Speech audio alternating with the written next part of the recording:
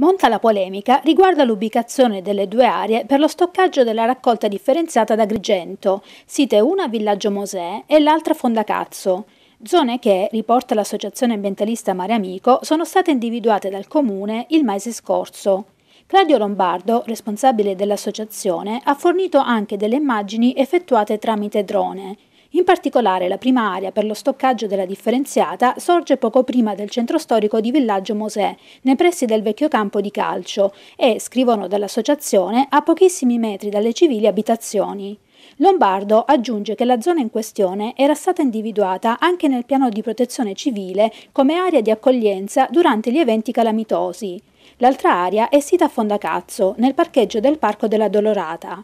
Per ambedue le aree, rincara la dose Mare Amico, non vi è traccia di alcuna autorizzazione e non potrebbe essere altrimenti, vista la dissennata scelta fatta. Per questo motivo dall'associazione chiedono la revoca urgente dell'ordinanza con la quale sono state individuate le due aree in questione.